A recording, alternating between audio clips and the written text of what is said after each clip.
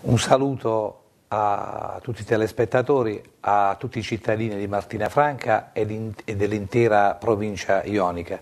Voglio proprio partire da Martina, dai miei concittadini, dalla città dove vivo, dove lavoro, dove quotidianamente trascorro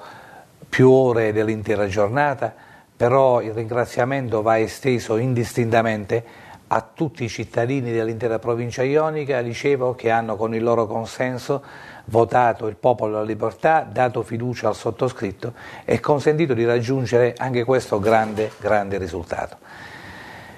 Oggi è eh, un momento molto eh, importante, forse è il momento più difficile che l'intera comunità nazionale sta eh, attraversando rispetto agli ultimi vent'anni ed è proprio questo, con questo ruolo che voi mi avete dato, che assumo un impegno sia eh, di presenza e di costanza sul territorio per consentire una vigilanza estrema sui temi che sono indispensabili per la risalita della nostra eh, comunità, che vanno dall'economia, vanno dal lavoro, dall'ambiente e dalla salute. Sono questi temi sul quale non si potrà assolutamente prescindere da chiunque sarà a governare e, così, e da chiunque sarà da chiunque sarà formato questo governo. Martina ancora una volta ha dimostrato di essere una città moderata, una città liberale che si è stretta intorno a questo progetto, che ha visto una partecipazione enorme rispetto alle competizioni elettorali passate e che ha dato un grande, un grandissimo consenso al popolo della libertà e di questo ve ne sono grato, così come lo è stato per l'intera provincia ionica.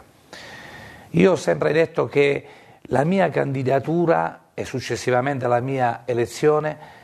mi piacerebbe che serva a far riunire tutti i moderati, così come lo è stata sia a Martina ma nell'intera provincia ionica,